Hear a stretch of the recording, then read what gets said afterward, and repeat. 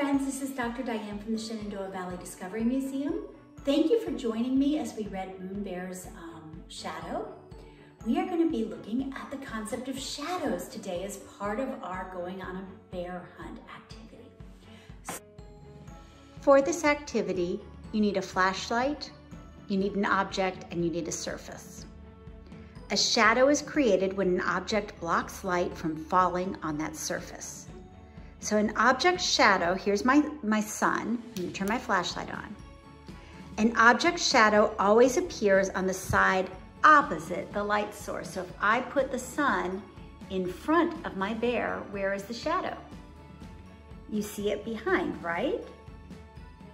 And when I move it around, you can still see the bear's shadow. I'm just moving my light to the side. As I move it, you can still see the shadow. It's just changing its location. If I bring it behind my bear, where is that shadow gonna be? It's gonna be in front of the bear. So, the flashlight in this activity is a model for how the sun casts shadows on Earth. On a sunny day, you block sunlight and you cast a shadow on the ground, on a wall, or on another surface. Your shadow always falls on the side opposite from the sun, just like bears. So see, I put the sun, there's Bear's shadow. Same thing happens if you go outside. Now, when the light source moves, the shadow changes. So if I move it around, that shadow changes. If I hold the flashlight really low, close to the ground, look at how long the bear's shadow is. If I move it high up over bear's head, do we have as long a shadow? No, it's much shorter. So we can make it long, we can make it short. So you can move your flashlight around and experiment with what happens to the shadow as you play.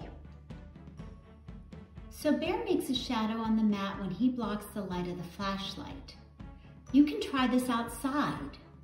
When you go outside, you make a shadow on the ground when you block the light from the sun. In fact, anything that blocks a source of light can make a shadow.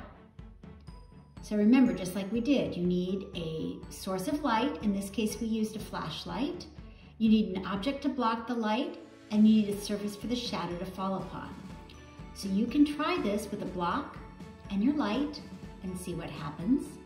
You can try this outside and see where your shadow falls depending on where you're standing. And you can also, this is my favorite thing, you can take a light source and you can make shadow puppets. What kind of shapes can you make by blocking light with your fingers?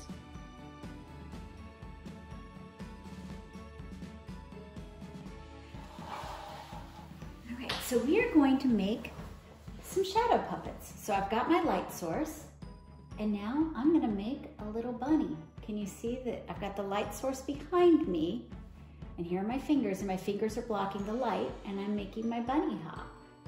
What else could you make? Can you make an alligator or a duck? Here's my bunny that's hopping. If I pull the light back, look at how much sharper the bunny is. What happens if I bring it really close? We lose it, right? So the further away, look at my duck. So you can also play with making shadows.